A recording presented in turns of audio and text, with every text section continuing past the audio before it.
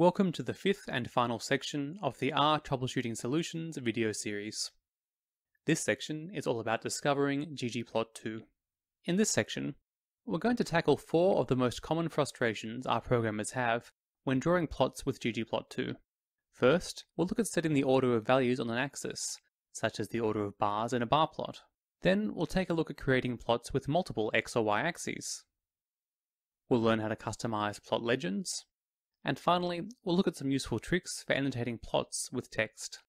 This video answers the question, how do I change the order of bars or axis ticks? In this video, you'll learn to change the order of values for a factor variable, how to change the order of values for a character variable, and how to change the direction of a continuous axis. Let's move over into RStudio. We'll start by loading the ggplot2 package.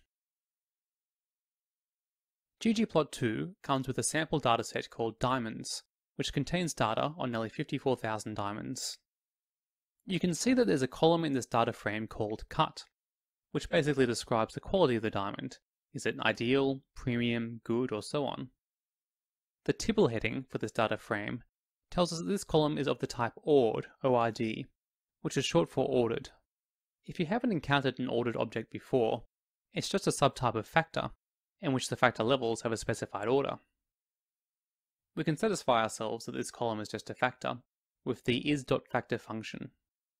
The method we're about to use works exactly the same for an ordered or unordered factor.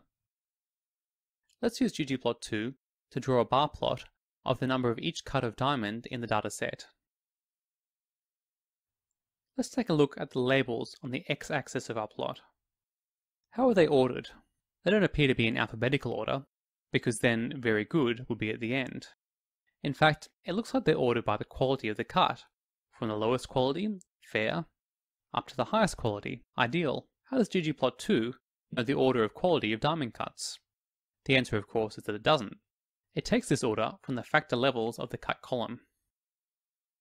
Let's suppose that we want the bars to appear in alphabetical order, rather than in order of the quality of the cut. To do this, we simply need to reorder the levels of the cut factor in the diamond data frame. There are a couple of ways to do this, but the most straightforward and explicit is to use the factor function with the levels argument. If we check with the levels function again, we can see that the levels are now in alphabetical order. Let's see what happens when we redraw the plot. Excellent. The bars are now in our preferred alphabetical order. Now let's consider a slightly more difficult situation. Let's replace the cut column with a character vector instead of a factor.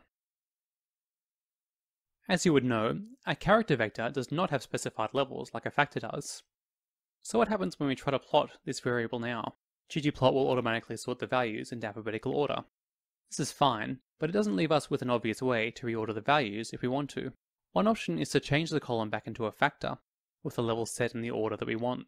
This would work, but there are situations where it would be inconvenient to change an entire data frame column just to modify the appearance of a plot.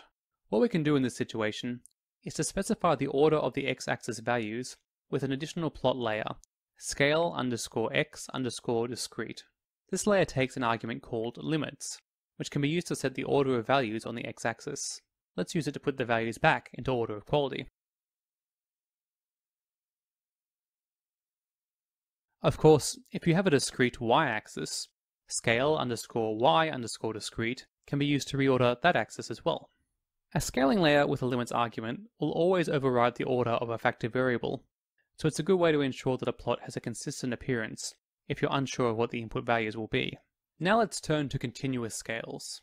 Let's draw a scatter plot of the carat weight of the diamonds against their price. Unsurprisingly, it looks like larger diamonds tend to be more expensive. Now, unlike a discrete scale, such as the bar plot in the previous example, there isn't much point to reordering at continuous scale, such as carat or price. Sometimes, however, you might want to reverse the order of the scale. Once again, there are a couple of ways to do this, but one of the most straightforward is to add a scale underscore x underscore reverse, or scale underscore y underscore reverse layer to the plot. Let's add scale underscore x underscore reverse to reverse the x-axis only. And as you can see, the order of the x-axis scale has been reversed. There are a large number of useful transformation functions for continuous scales that you can read about in the continuous underscore scale help topic. They're accessible using the trans argument.